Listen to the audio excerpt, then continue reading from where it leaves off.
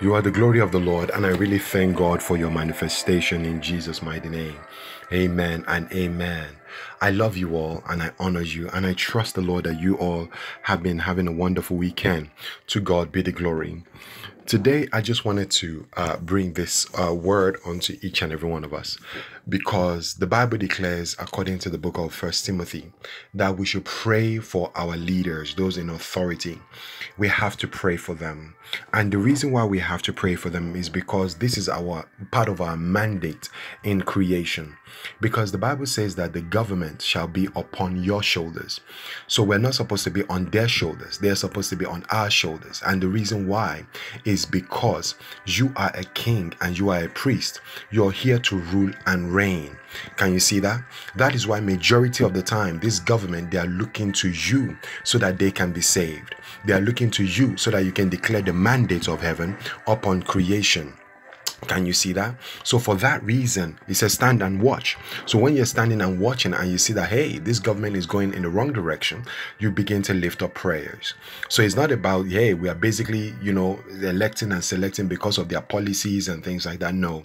This is not about policies. This is about the will of the Father, which says let my will be done on earth as it is in heaven. In Jesus mighty name. Amen and amen. So it is for that reason, I believe, you know, while I was, uh, I came out of prayer and the Father instructed to you know, it was given a revelation, a, a, a, revelation basically. And it's a place where, you know, uh, uh, there is just so much happening in, in, in the government. There is a shaking that is happening in the government in this hour. And the shaking that is happening basically is in the dimension of sex scandals. Yes. So I believe, you know, uh, the, the Spirit of the Lord, according to uh, uh, Genesis, I believe when the, the Spirit of the Lord was hovering, you know, in Egypt, basically was moving around Egypt. And in Genesis chapter 1, it says, And the Spirit of the Lord was hovering over the face of the deep, and God said. So now this is what the Father is saying. You know, there are a lot of uh, I believe they call them madams, I, I, you know, that terminology. And I believe these are people who are in charge of uh, prostitution, basically. Uh, you know, they basically organize women and they put them out there, you know, to be an escorts and things like that, you know, which is absolutely wrong because that is part of what, uh, you know, sex slave or kind of thing like that. But it's a place that this has been grieving the father for a long time. And this is where he's dealing with that situation.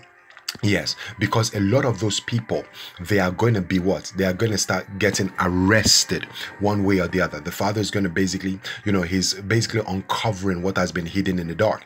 And a lot of them, they are getting arrested in this hour. And for that reason, they are being turned in.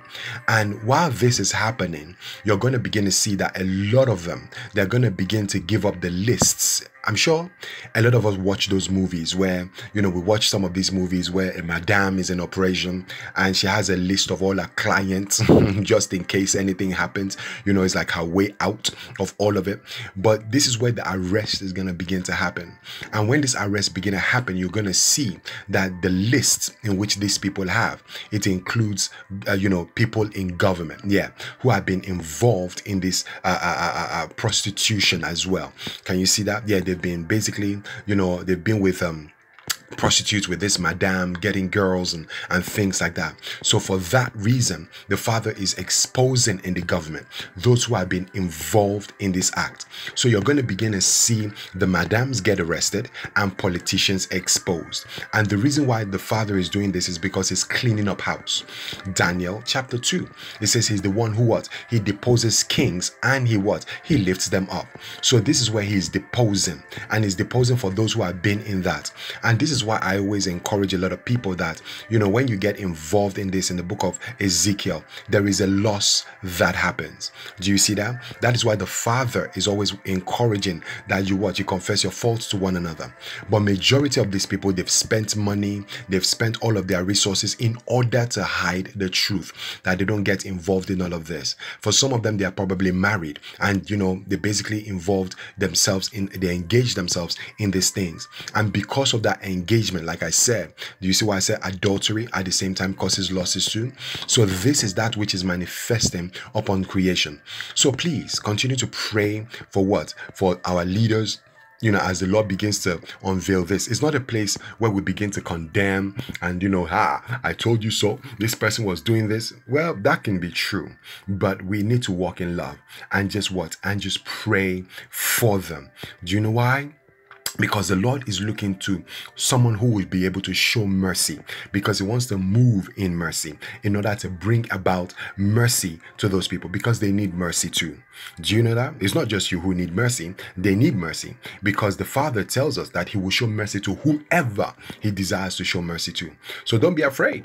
Uh, or should I say, you know, don't, don't be surprised. That's the word that the Lord can show mercy to that person who you never thought deserved mercy.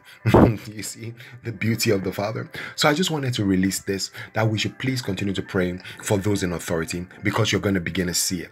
And I believe, you know, a sign concerning concerning this in itself, you know, was released recently uh, uh, uh, uh in in in in the United Kingdom you know, where a politician came, you know, was basically placed uh, uh, uh, in public because of this and he had to resign. So, this is where the Father, you're going to begin to see that in creation, you know, all over. So, it's not just a particular country, it's not just a particular state, but it's going to be all over because, like I said, the Spirit of the Lord is hovering over the face of the deep, not a face of a particular place, is everywhere and is uncovering what has been hidden for a long time. Amen.